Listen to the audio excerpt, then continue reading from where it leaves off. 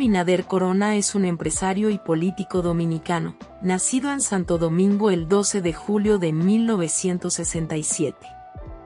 Es el actual presidente de la República Dominicana, tras ganar las elecciones presidenciales de 2020. Abinader es hijo del empresario y político José Rafael Abinader, quien fue presidente del Partido Reformista Social Cristiano en los años 80.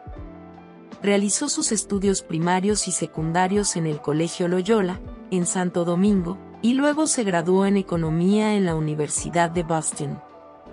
Tras finalizar sus estudios, Abinader trabajó en el sector financiero en Estados Unidos, donde se desempeñó en diferentes empresas y bancos. En 1994 regresó a la República Dominicana para unirse a la empresa familiar, Avicorp, una compañía dedicada a la construcción y el desarrollo inmobiliario. En 2005, Abinader se involucró en la política y se unió al Partido Revolucionario Moderno, PRM. En 2015, fue el candidato del PRM a la presidencia, pero no logró ganar las elecciones.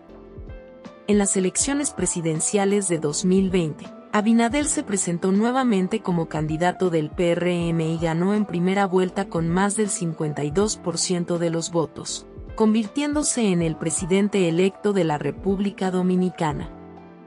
El 16 de agosto de 2020, Luis Abinader tomó posesión como presidente de la República Dominicana en medio de la pandemia del COVID-19, y ha enfocado su gobierno en la recuperación económica del país y la lucha contra la corrupción. También ha implementado medidas para mejorar la seguridad ciudadana y el acceso a la educación y la salud.